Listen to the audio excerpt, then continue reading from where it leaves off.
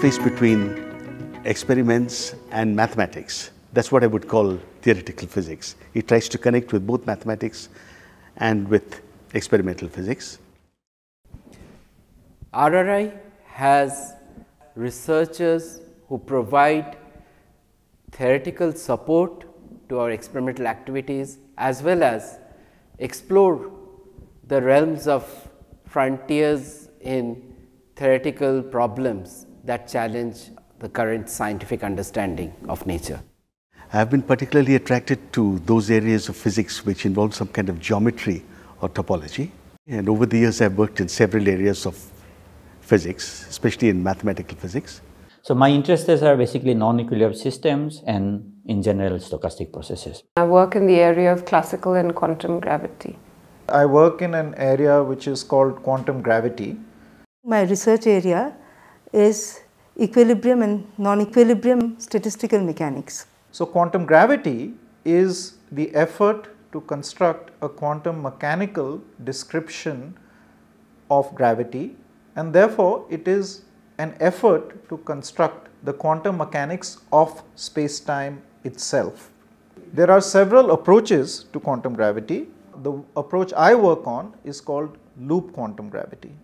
Within loop quantum gravity, we understand the microstructure of space very well. However, we do not yet understand how quantum space evolves and becomes quantum space-time and it is this problem which has occupied almost all my attention during my career. The approach that I take is a discrete approach to quantum gravity. We take space-time to be discrete, that events, so if I take an event here in space-time and another event here which follows this event, we understand the meaning of follow. Between those two events, there's only a finite number of space-time events that are there. This discreteness is at the heart of what's called the causal set approach to quantum gravity. But it's also based on a very important physical principle, and that is the principle of causality. So over the years, I have uh, developed a particular style of working where I use mathematics to look at analogies between different parts of physics and exploit them to understand both of them. So when I joined here, the first piece of work I did was to explore with a colleague of mine an analogy between magnetic fields in physics and rotations. In the theory of magnetism, there's an idea called a magnetic monopole. It turns out if you believe in magnetic monopoles, you can explain the quantization of charge. So we asked the question whether there's a gravitational analog for the magnetic monopole. And we pursued that using the idea of dimensional reduction. And that actually was quite a revealing thing to me that you could pursue a physical analogy, convert it to mathematics, and learn something new about the world. Our research interest lies in understanding Brownian motion in the low temperature domain.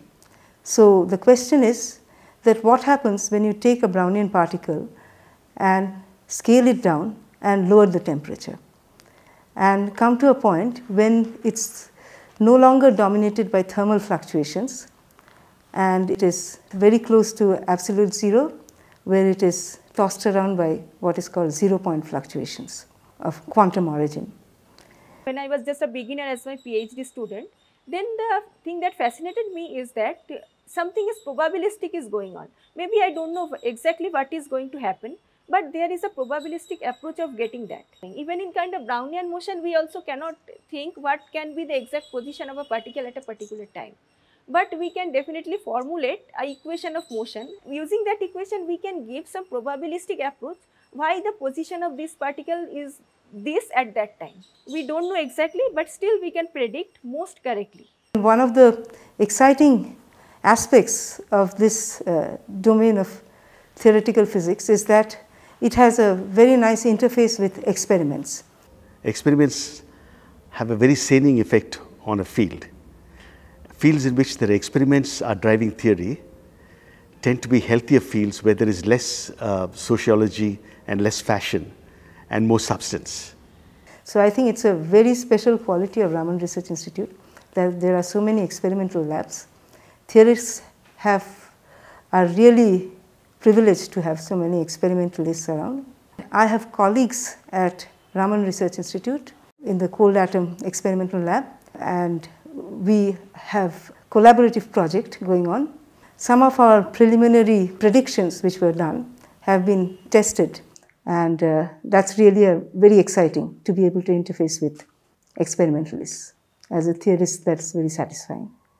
I have been doing collaboration with experimental physicists here and I have also actually done experiments together with experimentalists from uh, this theoretical physics to the soft condensed matter physics. And then there are common interests between this group and astronomy and astrophysics, so they are all I mean, connected in some sense. Yeah. I have had collaborations abroad and uh, also with people in other institutes, but I felt that some of the experimental collaborations in, in RRI were the most fruitful in the sense that they broadened me in a, in a certain way. I've also mentored a lot of students, even not just those in India, but also while they were writing their thesis, I mean, basically working on their thesis work um, in Europe. Here I have had two PhD students, um, both of them defended successfully and I have currently three master's students, very, very, very smart, very accomplished master's students and they will move on to other things but in the process it's also very it's a lot of fun because you're talking to somebody younger, you're exploring things with them. Um, I find that uh, very satisfying as well. What I have valued the most about my stay over here at the Raman Research Institute all these years is that it has really given me time to think and spend on really deep and hard problems. Curiosity driven science is not just something imposed or told to us by somebody else. I think it's very fundamental to human nature. We think of greed as fundamental to human nature, but I would say that this is in fact this overcomes greed. The need to know, the, the curiosity that we have is what leads us to ask questions. And that's the basis upon which science is founded. How does it matter to you if there is a black hole at the center of our galaxy or the center of a faraway galaxy? How does it matter? I will argue that it matters because it changes the way you view the universe. And that's very fundamental to us. We're taught that this is all, you know, not relevant. But I think this is fundamental to human nature. And that's a message I want to put out there.